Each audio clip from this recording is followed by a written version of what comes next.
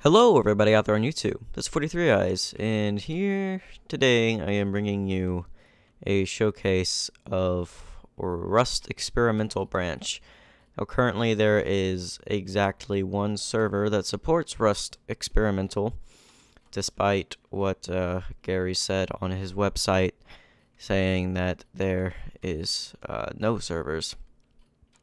But that was a while back, so I guess they... Uh, there's one server up for Rust Experimental now, and it's basically a cluster of spammed boxes and fireplaces.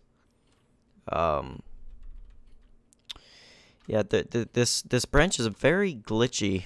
Um, the only thing you can equip is the hatchet, and um, you can stick the hatchet through things like this.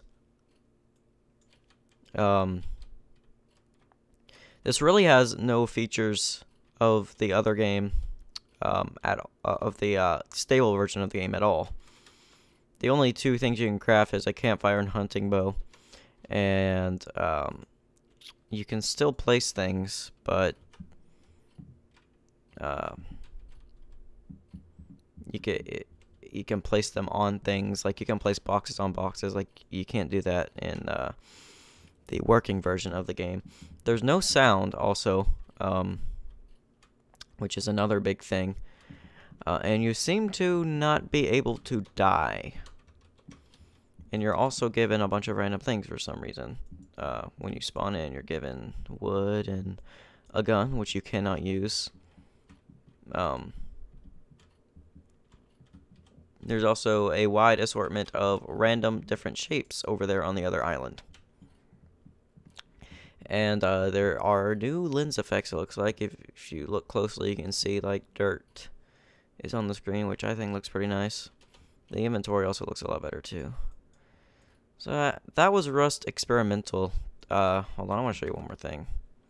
If I can. Can I type suicide? No. So Okay, sorry about that, guys. I fell into oblivion and could not get out. Oh, so I made a little tower here.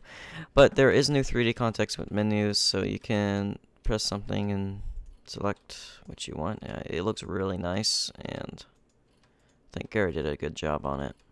Oh, what was in there? Put bow in here. It looks like boxes got a, uh, they're smaller now. They can't hold as much. But, uh, yeah, that's Rust Experimental. See you guys in the next video. Later.